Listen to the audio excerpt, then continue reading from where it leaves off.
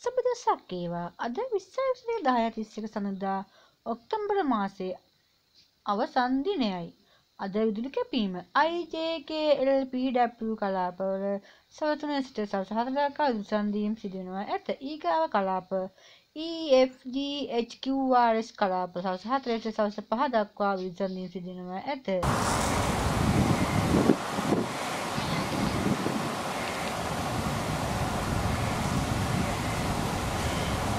ඊගාව කලාප වන්නේ A B C D T U V කලාපවල සවස් 5 සිට සවස් 6 දක්වා විදුලි සන්දීම් සිදු වෙනවා ඇත.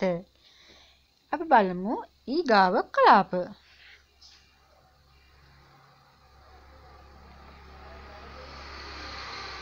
ඊගාව කලාප වන්නේ I J K L P Q W කලාපවල සවස් 6 සිට රාත්‍රී 7 දක්වා විදුලි සන්දීම් සිදු වෙනවා.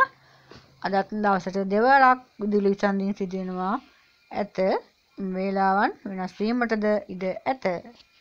ඊගාව කලාපය වන්නේ EFGHRST කලාපවල රාත්‍රී 7 සිට රාත්‍රී 8 දක්වා අතිරික්ත දින වෙනවා. මෙම වේලාවන් වෙනස් වීමටද ඉඩ ඇත.